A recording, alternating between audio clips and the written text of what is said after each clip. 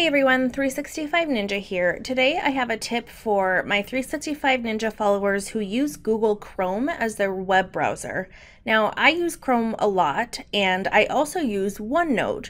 So, Chrome has this really cool extension that you can use with OneNote, and I wanted to introduce it to you. It's called the OneNote Clipper.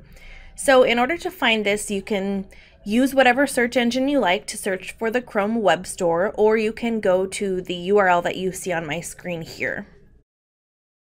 Once you're in the store, search OneNote. Now scroll down to the extension section and you'll see the OneNote Clipper. And you can see here it says the easiest way to save anything on the web to OneNote in just one click. So we'll click Add to Chrome, confirm that we want to add it, now you can see that really quickly the OneNote clipper was added and we've got that little OneNote icon here next to my URL bar. Now let's click try it now and you can get an idea of how it works. First I'll sign in with my Office 365 account. Now you can see I have the option to either clip a full page, a region, or an article. I can select my location so if I have other notes stored on Office 365, as you can see I do, I will select one of those to add my clip to. And I can also add a note to that clip.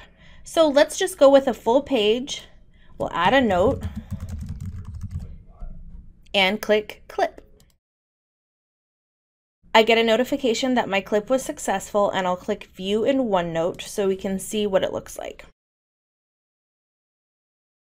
Now, because I am using Chrome, it is going to open up the web version of OneNote. And if you don't want to use the web version, to be honest, I much prefer to use OneNote 2013. You can certainly just go manually open up your OneNote, but I just wanted to show you what it looks like.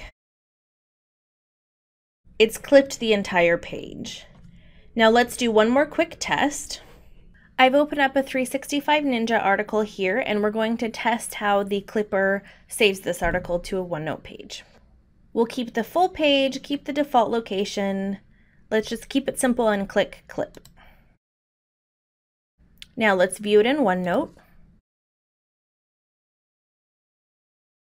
And here's our article. Now this is really cool because if you're taking a screenshot, it can be tricky or impossible to get a long web page like this in a screenshot.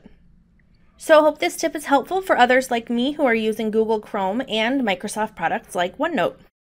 If you liked this tip, please check back with 365ninja.com for more.